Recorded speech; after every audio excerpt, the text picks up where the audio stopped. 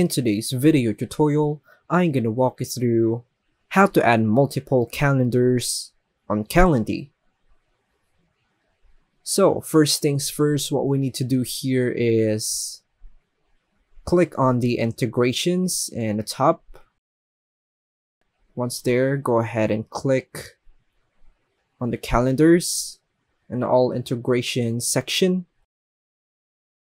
Now what we need to do here is click on the is click on the Outlook calendar plugin.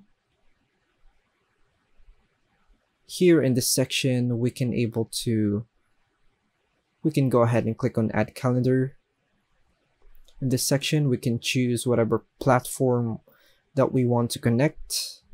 So by clicking connect we can able to add multiple calendars.